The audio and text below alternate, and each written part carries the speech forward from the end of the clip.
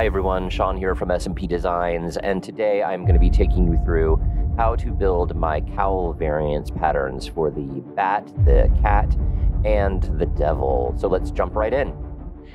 Here you can see I've got my patterns printed out, and I've already gone ahead and traced them out into my materials, and I've cut out all of the pieces and made the markings from the patterns. You can see all of those marked out here, and the dots where all of the ear pieces are going to connect together. So I've got my headliner, uh, it's backed with some black faux leather, and let's get started. So the first thing that we're going to do is we're going to attach the inner earpieces to the top of the head. So you'll see the dots, the markings where the pieces match up, and those are going to match to the dots in the center of the of the earpiece. First thing I'm going to do is just do a snip up to the dot in each of these corners, so that when I'm sewing it together, it can um, it can spread out. Now, the earpiece attaches to the front of the head. The long side is the front. This is the back piece here. And the way it attaches is the, the fabric side of it is going to go towards the inside, towards the top of the head. So what we're going to do is we're going to match these pieces up at the dots and sew them down. So what I'm going to do is I'm going to match my dot in the center. I'm going to start from the front here at my seam allowance line. So a half inch in. And I'm going to sew that up to that pivot dot.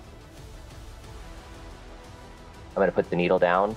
I'm going to pivot that out to match up to the edge of the earpiece. And then I'm going to sew it to the back.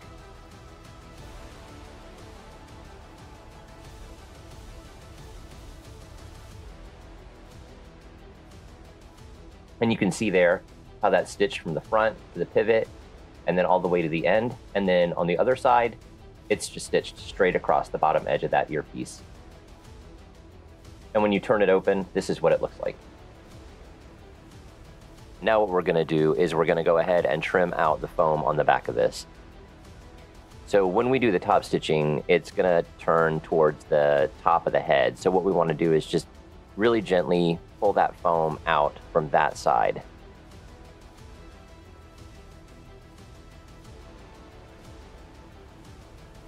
There. Now we're going to put the other ear on exactly the same way.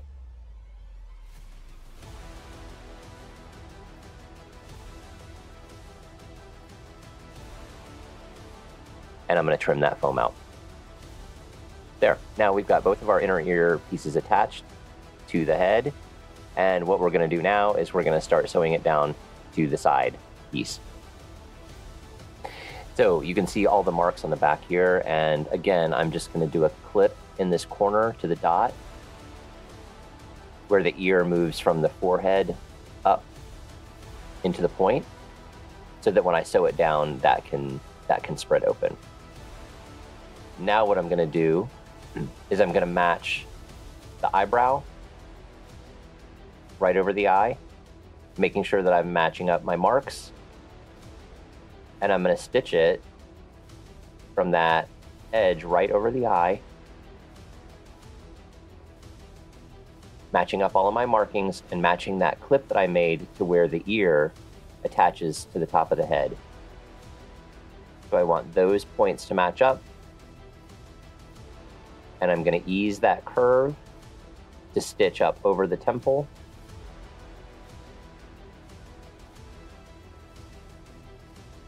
Matching up that dot, and I'm going to stop right on that pivot.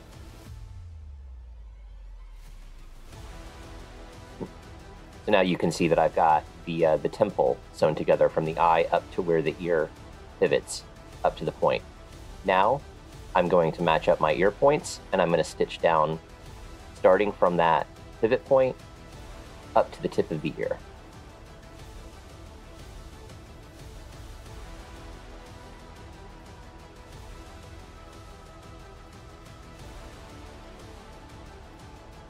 I'm going to sew up to the tip of the ear. I'm going to stop. I'm going to walk it one step. Walk it one stitch. It helps get a better point when you turn it out. And then I'm going to keep my marks aligned. That mark matches up where the ear attaches to the back of the head. And I'm just going to sew all the way down, making sure that I've got all of my marks lined up.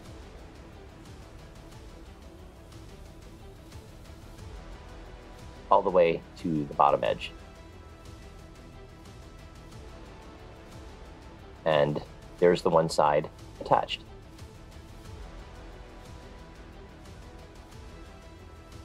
So now what I want to do is I want to go ahead and attach the other side. And I'm going to do it the same way. I'm starting from the pivot at the ear on this one because I'm on the other side but it's exactly the same technique.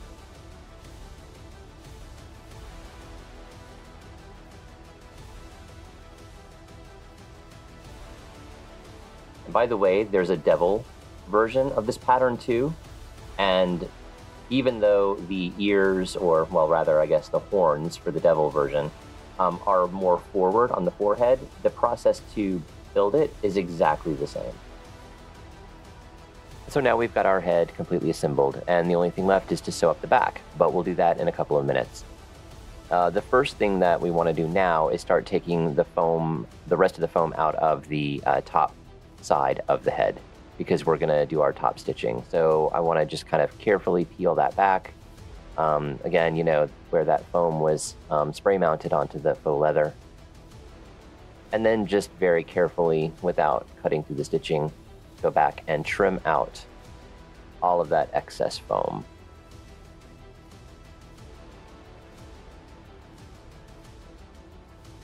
And at this point, we also want to take the foam out of the ears.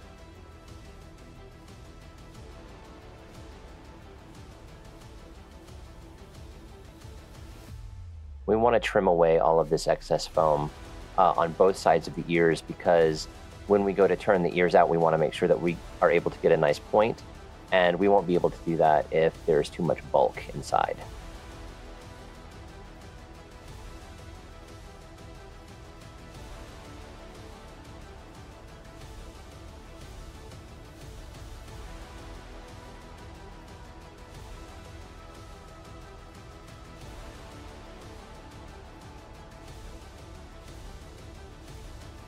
And I'm also being careful not to cut through the stitching, gonna go ahead and trim this material away from the ear point.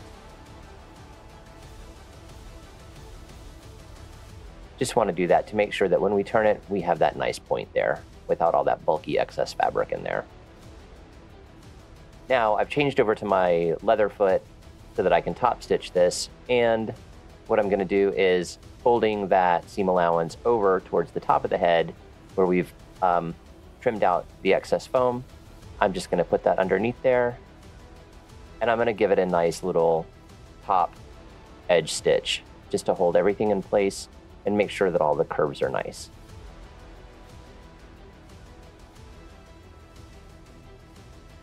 I'm just making sure that my seam allowance is laying down the right way. And then again, what I'm going to do is I'm going to top stitch around where the inner ear attaches to the top of the head. So it's hard to see here, but you just have to um, kind of ease the seam allowance, make sure the seam allowance is all going in the right direction, and then just pivot at those corners to go around where that inner ear attaches. And then when you get around to the front, you'll hit that pivot point where all the pieces attach, and then you'll just pivot around and go down the temple above the eye.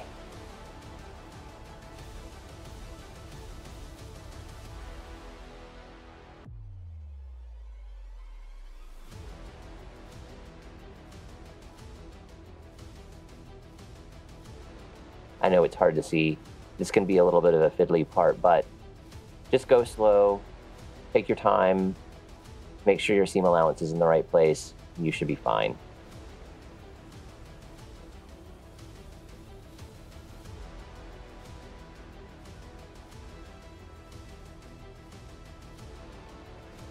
So now you can see if we push that ear through, you can see how that top stitching,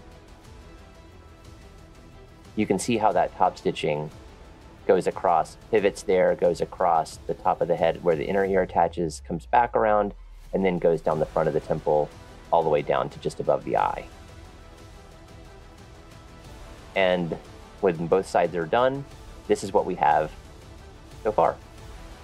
Now, before we attach the nose, all we want to do is go in and bind off these eye holes to finish them. So to do that, I've got some thin, black, stretchy faux leather um, cut in a two inch strip, and this is what I'm going to be using to bind off the eyes. So what I want to do is turn it inside out I'm going to start from right above the nose. I'm going to go around the top of the eye, and I'm going to go all the way around until it comes out at the other end of the nose. I'm going to get positioned under the machine. I'm going to get my strip of binding. I'm going to line the edges up.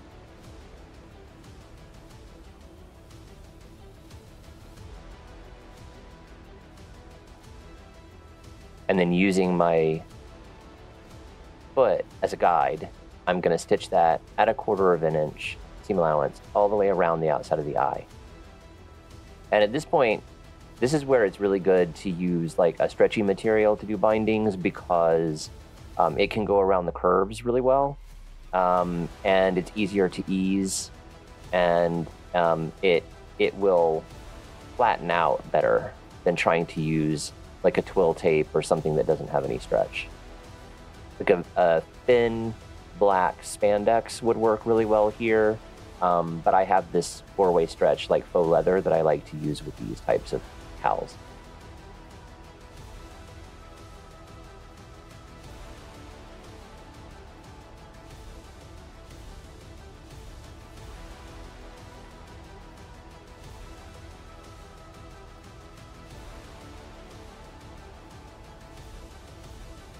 Now I'm just going to trim this off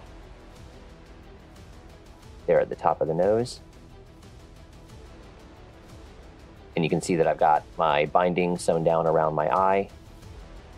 Now what I'm going to do is I'm just going to very carefully roll that to the back.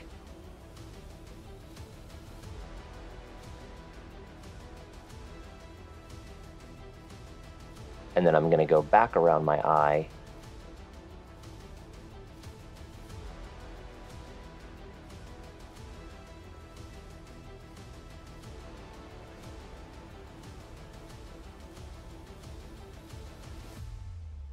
And I'm going to stitch right up against my seam line.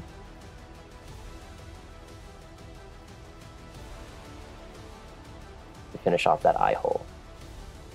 And this can be a little bit of a fiddly bit too, but just again, take your time, you know, mold that that stretchy fabric around the eye. Make sure that you've got it pulled, you know, nice and taut so that you have an even binding, but not so tight that it's pulling everything out of shape.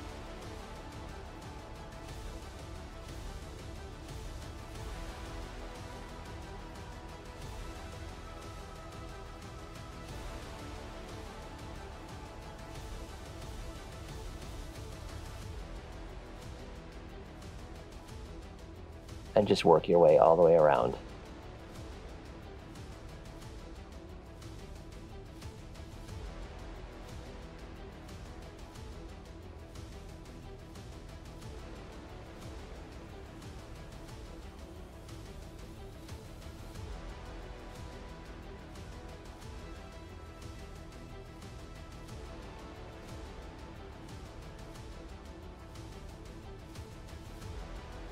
There. Now, I've got my eye hole completely bound, sewn down all the way around. Now what I need to do is just go in and trim out this excess in the back. Once again, I'm going to take my little scissors and being careful not to cut through the stitching, because then you'll have to go back and restitch it. Just very carefully trim that all the way down to get rid of all that excess.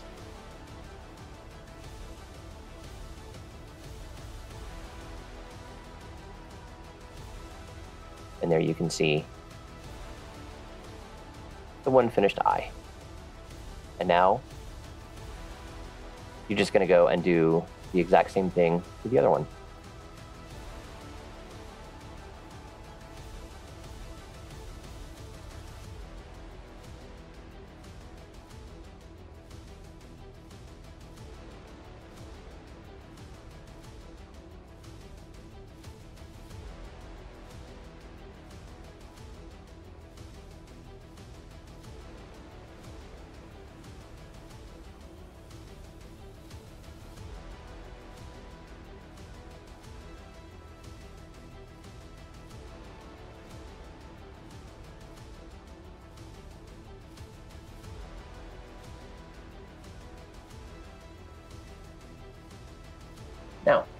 Now that our eyes are done, we can sew the nose together. So what we're going to do is we're going to sew that eyebrow and the top of the nose together. And we're going to match up those two edges. And what we want to do is just try to make sure that we keep the, the edges, the finished edges, as even as possible. And we're using our half inch seam allowance here again. So just go from one side, matching up those finished edges, you may need to ease it a little bit, but that's okay. And then just stitch it straight across. There you go. And now what we're going to do is we're going to top stitch that up towards the eyebrow.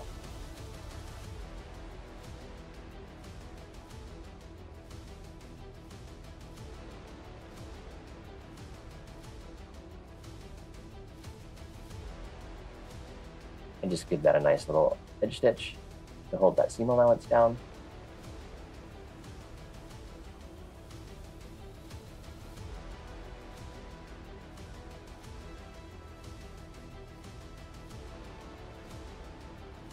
And then we'll trim off the excess on the inside.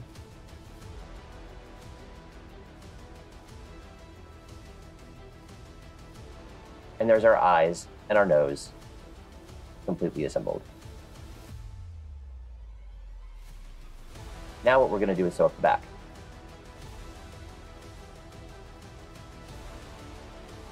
So I've got a dot here at the center front that shows me where my stitching is going to end. And what I want to do is just make sure the fabric's not wrinkled up inside there, that it's nice and nice and flat. I'm going to get a good point when I stitch that down.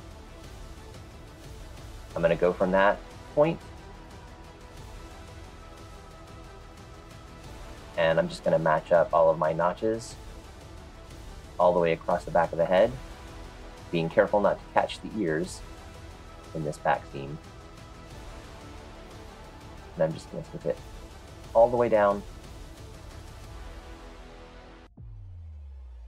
to that bottom edge.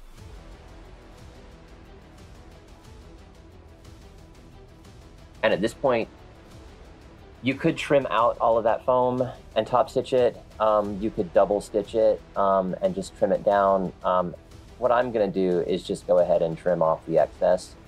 Um, double stitching makes it um, more sturdy. If it's kind of tight getting on and off, you won't pop that back seam. Um, top stitching would obviously be the, the sturdiest, but I'm just going to, for the demonstration, go ahead and trim it away down to about a quarter to an eighth of an inch in there and that's going to give us a nice curve. And now, we turn it out, we can see that our nice cat cowl is coming right along. Now what we just need to do is bind off the bottom. So we're going to start at the center back, and we're going to do the same thing all the way around to finish off that bottom edge.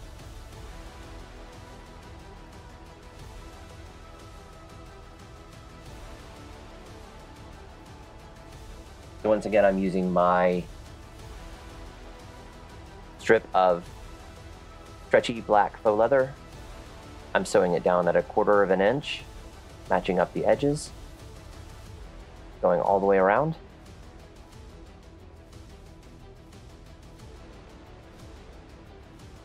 It overlaps at the center back, and then I'm going to roll that back the back.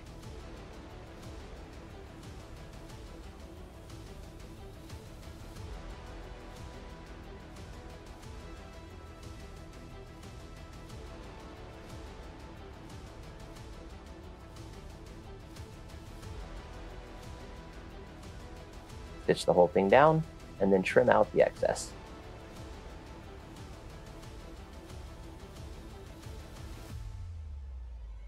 There. And now we have a complete cat cowl. Finished and ready to go. Now what I'm going to do is show you the bat cowl, which is a little bit different. So here we have the bat pattern pieces all cut out. Now, there's a couple of key differences here. One of them is that the nose is a separate piece. Um, so you can see the nose piece over here. Um, we've also got a different shaped eye, and the ears are a little taller um, and pointier. Otherwise, everything's pretty much the same. You can see I've got all my pieces cut out. Everything is marked here. Um, I've got all of my registrations done, and I've adhered my black faux leather to my headliner. So we're ready to go. Now, since this one's pretty much the same, I've already gone ahead and assembled like the ear pieces and sewn the head together and gotten it all the way up to the point uh, where we're just going to cover over what's different. Um, so the first thing that we want to do now is we want to bind off the eyes and finish those off before we start adding the nose on. Um, and one thing about the eye that I want to point out is that I'm going to do it in two different pieces rather than one long one because this point is so sharp that I'm going to start from the nose. I'm going to go to this point. I'm going to stop the binding and then I'm going to do another piece of binding that goes from the point and then all the way around to where the nose is going to attach. So um, we want to go ahead and start putting that together.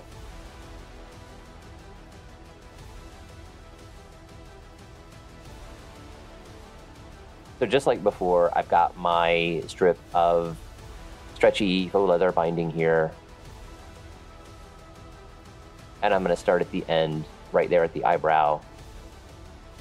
And just like before, I'm going to do that quarter inch from the edge, lining it all up.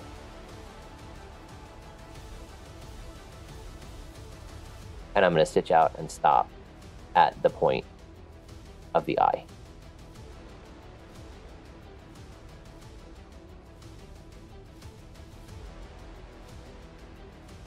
And then what I want to do is I want to trim this off excess here right up against where I've stitched it down. You can see I've gone from the nose and all the way up to the top of the point of the eye.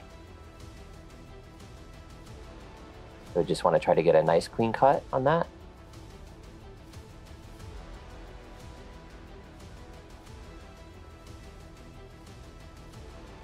Then I'm going to trim off this little corner underneath just so it doesn't end up popping out after we've Turned everything over.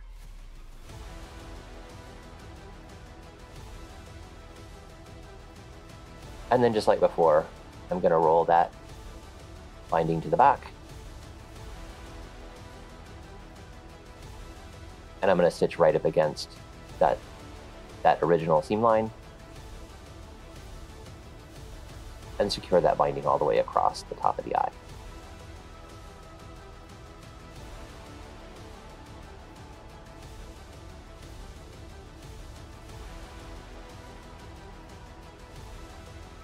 So there's our top all the way up to the point. And now what we're going to do is we're going to do the rest of the eye on the bottom.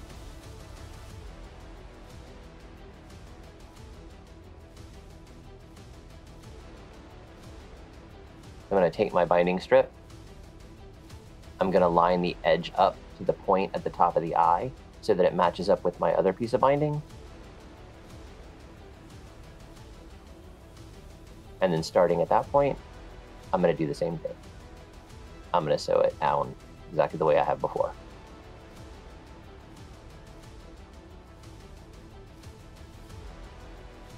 You'll need to do some easing around that bottom, uh, that bottom curve on the eye. But if you've got that stretch material, you shouldn't have too big of an issue. Just take it easy and take it slow.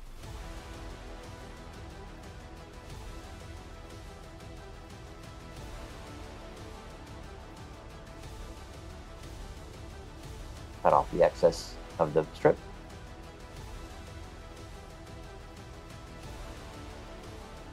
Roll that back, just like we've been doing.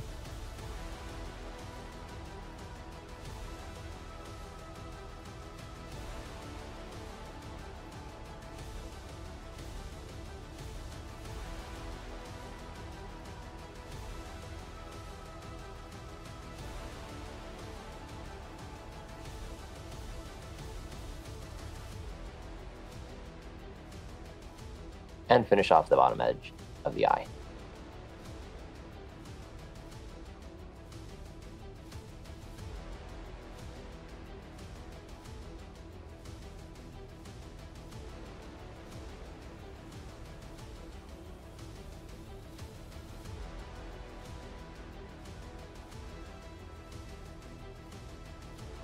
And now, just like before, we're going to go in and just trim out all the excess on the back.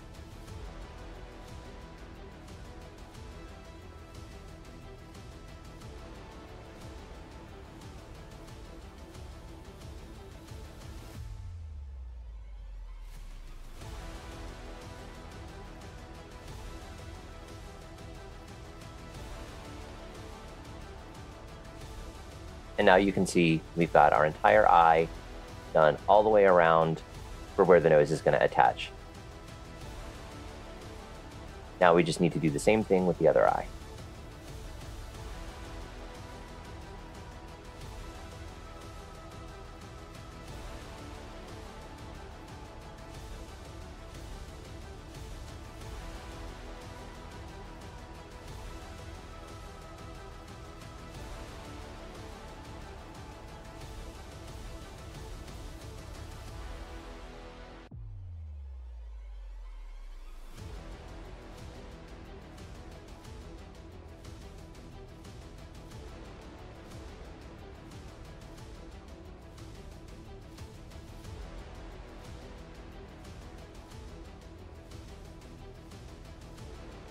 There, now we've got our eyes done, and it's time to attach the nose. The nose piece sews to the sides, um, right underneath the eye, and then it's got the tab atop uh, where it's going to stitch right underneath the eyebrow, right there at the center front, under the eyes. So first thing we want to do, though, is we want to sew it to the sides of the face. So we're going to match this up, matching up our top edge. So the finished edge of the eye hole should match up to that little corner. And matching up the bottom edges as best we can. If they don't match exactly, it's okay because you're going to bind off that bottom edge and you can clean it up then. It's most important to make sure that that finished edge at the top of the eye matches into that little corner so that when you sew the bridge of the nose together, the eye is completely finished.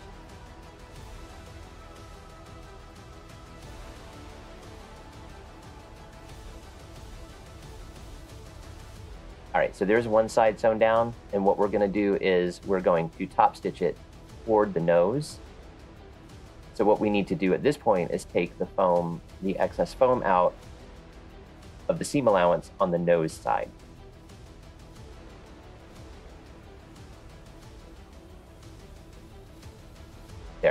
Pulled that out. Now we're gonna fold all that seam allowance towards the nose and we're gonna top stitch that.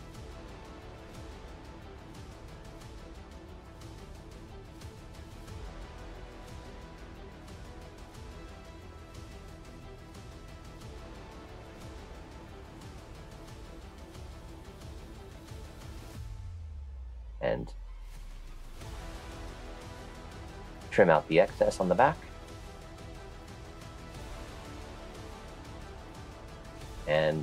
Since my bottom edges didn't match exactly, I'm gonna just go ahead and tidy that up so that we get a nice even line. Now, without being sure you're not twisting the face, line up the other side with your finished edge at that little corner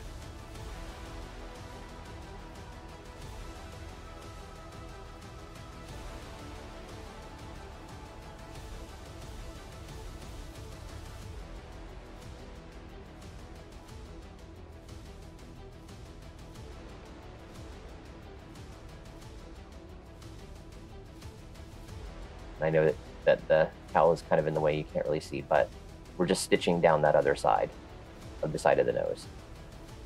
There, now you can see it.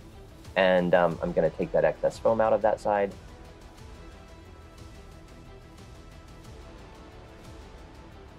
Just like before.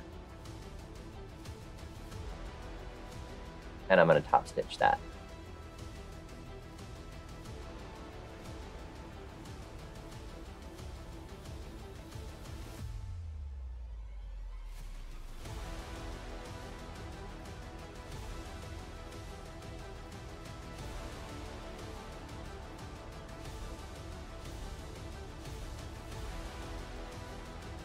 Once again, trim out the excess inside.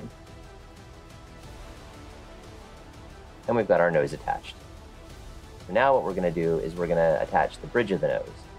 So what we want to do is, just like we did for the other cowl, we're going to match up those notches and we want to make sure that the finished edges at the bottom of the eye match up to the finished edges on the top of the eye.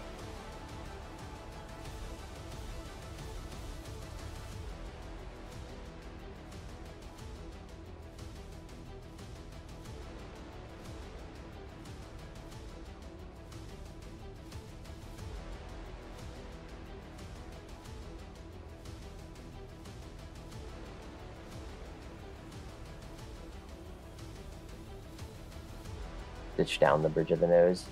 There we go. And now we're going to fold that to the eyebrow. I'm going to fold it up.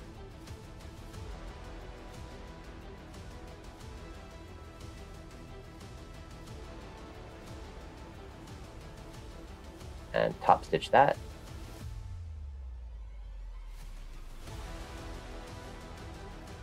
So the sides of the nose top stitch toward the nose top, top stitches toward the eyebrow. Trim out that excess material. And there's our eyes and nose completely put together. Now, you could like put some foam in the nose. Um, you could always put like some wire in there. Um, you could uh, get like a foam mask and glue to the inside of it if you wanted to have more shape. Um, but it it really will work pretty well. Um, just make it fit however best you like. Now all that's left is to sew up the back, bind off the bottom edge, and that's going to complete the bat cowl.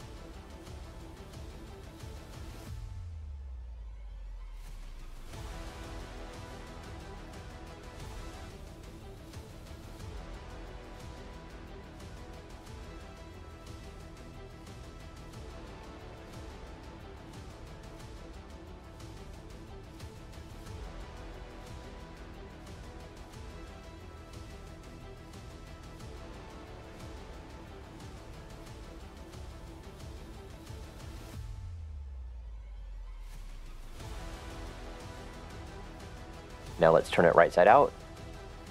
Turn the ears out. Get those points looking nice. The pattern also includes an optional foam insert for the bat ears to help keep them nice and uh, nice and tall and straight.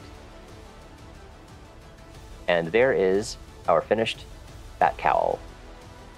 And here are, are all of the cowls on the form so you can see what they look like when they're being worn. I hope you've enjoyed this walkthrough of the cowl variants. For more information, visit smpdesigns.com or visit us at etsy.com slash smpdesignsco. Thanks, and I'll see you next time.